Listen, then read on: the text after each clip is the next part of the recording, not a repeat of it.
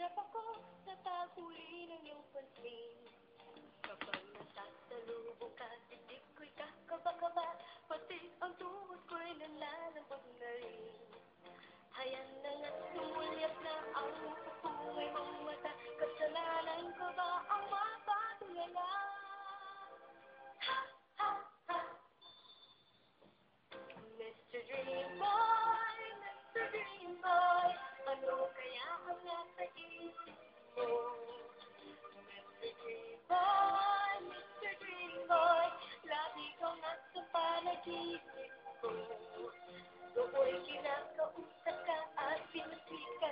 这美好的一分。